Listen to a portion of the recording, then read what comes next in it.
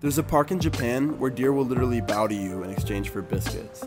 They sell these biscuits around the park and anybody is free to buy them and feed them to the deer.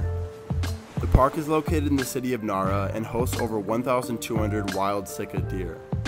According to local folklore, deer from this area were considered sacred due to a visit from a god from the Kasuga shrine.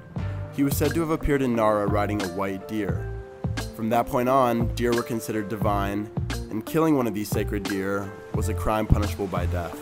Today, killing one of these deer won't get you the death penalty, but it carries a substantial prison sentence.